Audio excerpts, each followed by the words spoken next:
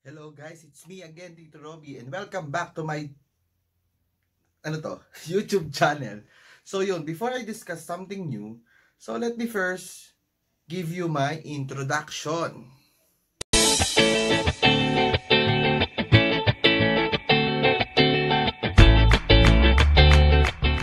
So, welcome back again to my channel, of course, and I'll be discussing yung topic na binigay sa akin ni RJ Garcia. Actually, requested mo to RJ, no? So, RJ is my good friend and dorm mate when I was in college. Siguro mga, I think 10 years ago ko siyang nakasama sa dorm. So, yun, mga fresh, freshman year niya. So, senior year ko na kasi yun. So, parang one year na kami nagsama. So, anyways, anyway, so yun nga. Ang topic natin for today is pros and cons of choosing teaching profession. So siguro gusto mo magturo, no? Kaya pinapadiscuss mo sa akin kung ano advantages at disadvantages ng pagtuturo over your chosen career or yung field na gusto mong tahakin. So yun nga. By the way, itong topic na ito ay para sa mga, alam mo yun, taga lang. Yung mga tapos ng college pero hindi sila education graduate na gets nyo. So, hindi ka edu graduate or hindi ka Bachelor of Science in Education or Bachelor of Science in Education, major in English, Math. So, ang tinapos mo, maybe you are Hotel and Restaurant Management, Tourism Management, Engineering courses, like yung sa akin, Electronics Engineering, Industrial Engineering. So, yan, yung mga ibang course na hindi ka related sa education. So, yun nga pala, by the way, i-define natin nga pala ang ibig sabihin ng pros and cons para sa mga hindi nakakaalam kung ano ba ito, pros and cons sa tulong ng Google, of course. So, kailangan natin mag-research. Research, research din, no? Para alam mo yung mga sinasabi mo. yun nga ako. Para alam ko yung mga sinasabi ko, no? So, yun. So, the pros and cons of something are its advantages and disadvantages. So, meaning yung pros is for advantages and the cons is for disadvantages, which you consider carefully so that you can make a sensible decision. So yun nga no, kailangan syempre malaman mo kung ano ba yung pros and cons of choosing this career. So didiscuss ko muna syempre yung yung pros o yung advantages nung choosing this career, teaching career over dun sa dun sa ano mo, sa career na tinapos mo talaga. No, masakit na sa tayo yung boses ko tapos maririnig mo pa yung sound ng aircon. So yun nga, balik tayo. So ano bang meron? So ano ba yung mga pros? Of, uh, of choosing a teaching career. So ito ito yung una no. So number one is yun nga pag pinili mo tong trabaho to, magiging hero ka. No, number one is hero. So bakit ba sinabing hero no? So sa kodigo ko ulit, so nandito sa cellphone ko, magiging bayani ka man lang at least sa paningin ng mga bata. So pag pinili mo maging teacher ka, minsan nararamdaman mo sa sarili mo na ah, pwede pala ako maging bayani no. So yun, so di ba sarap sa feeling no na may ibang tao na naniniwala sa iyo, humugot ka na naman no. So may mga batang naniniwala sa iyo at pinagkakatiwala nila yung future nila sa iyo. Kasi nga sa tingin nila alam mo lahat. So hero ka. Lalo pag ikaw yung nagtuturo, ikaw yung nagtuturo na mas maliliit na bata. So mas mararamdaman mo na ah hero, parang sa mga bata hero tingin nila sa akin. So that is number one. So ikaw ay possible to be ano ba, pwede ka tawagin na hero. So, yun nga. So, sa number two, so, bonding with your students. So, di ba, pagka ang mas kasama mo ay mga, mga bata, di ba mas, alam mo yun, mas nakakabata pag ang kasama mo mga bata. Nagets nyo? So, yun nga. So, halos kasi 10 months mo sila makakasama, yung mga bata. So, pwede kang matuto sa kanila. As a teacher, natuto ako sa kanila. For four years of teaching in this industry, sa teaching industry, so halos hindi naman lagi yung teacher yung nagko-contribute. Sometimes ako, natututo din ako sa mga bata.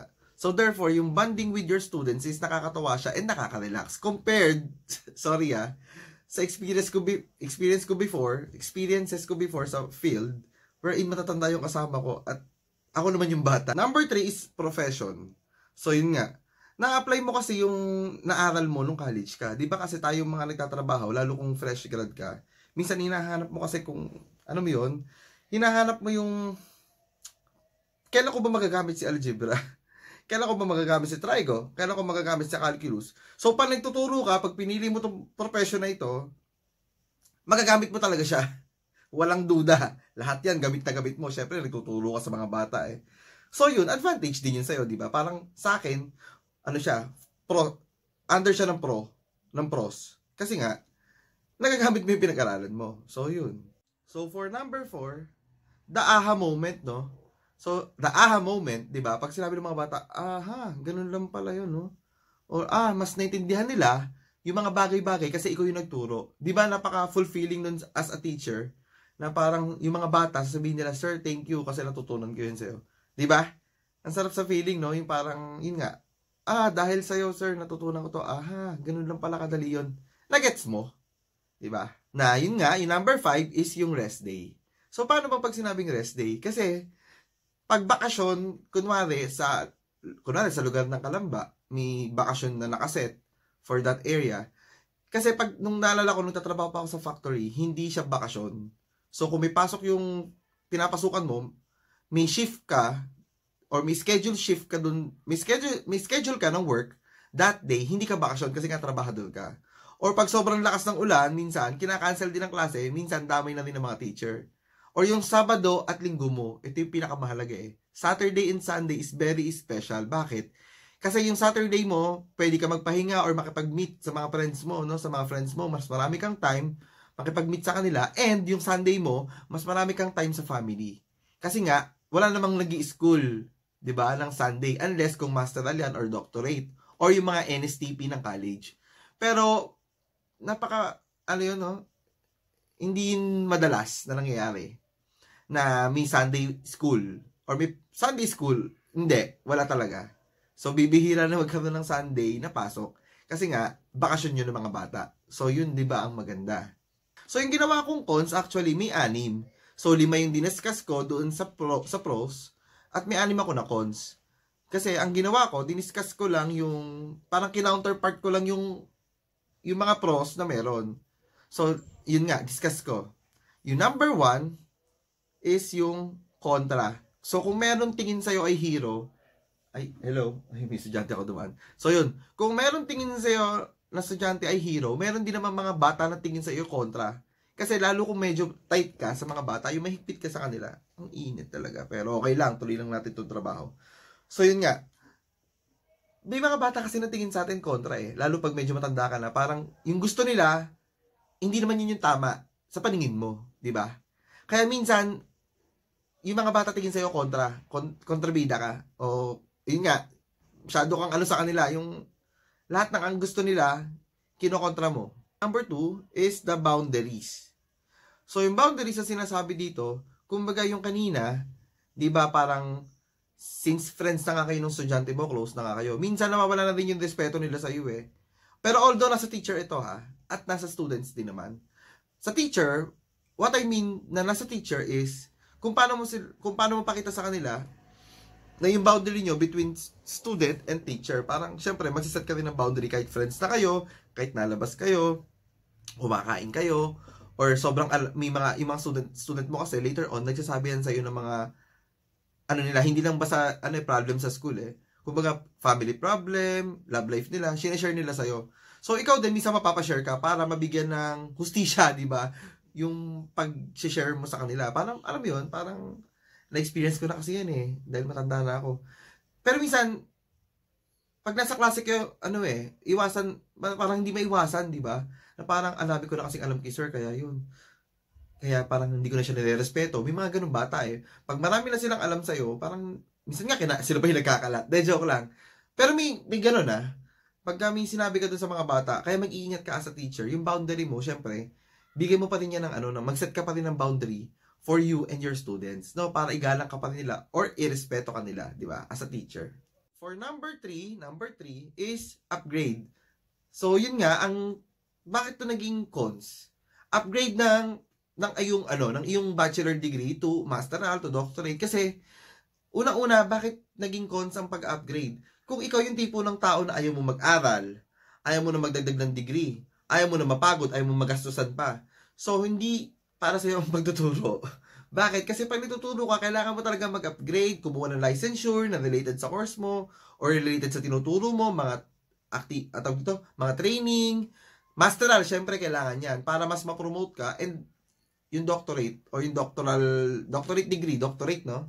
Doctorate degree, kailangan mo siyang kunin, i-push mo yung limit mo hanggang doon. Kasi nga, as a teacher or instructor or professor, dapat mas higher yung ano mo, yung degree mo dun sa mga estudyante mo, lalo kung nagtuturo ka ng college, di ba?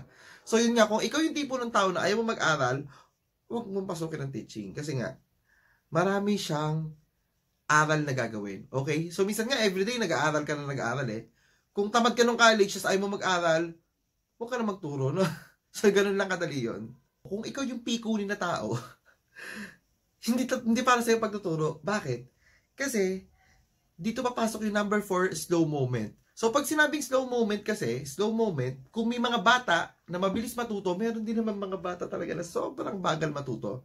So, kung teacher ka at wala kang tiyaga, ano mo yun, hindi ka para sa pagtuturo. Pero kung ikaw naman yung tao na gusto mong tiyagain, gusto mong magturo, gusto mong i-share knowledge mo, kahit na yung mga estudyante mo hindi mabilis matuto, so yun, pasukin mo yung pagtuturo. So, yun yung number 4. So, for number 5, number 5, number 5 is leave. ba?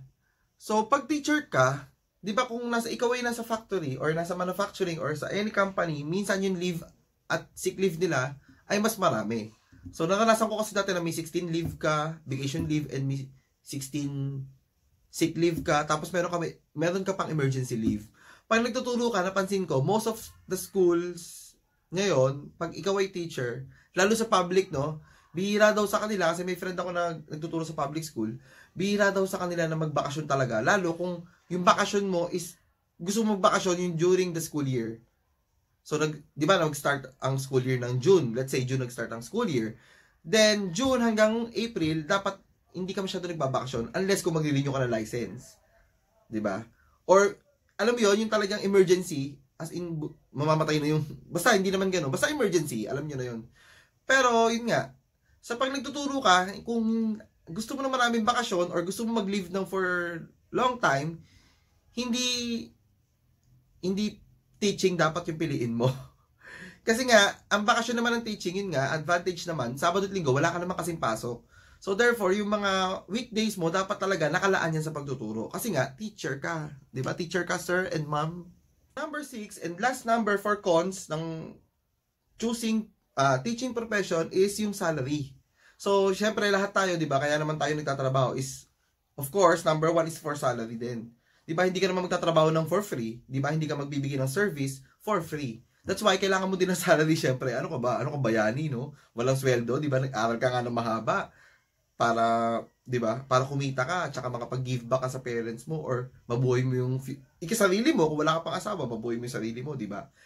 That's why, kailangan mo din ng salary. So, yun nga, pag, ti- pag gigi, teacher ang pinili mo, pag gusto mo maging teacher, don't expect na malaki yung sweldo, 'di ba?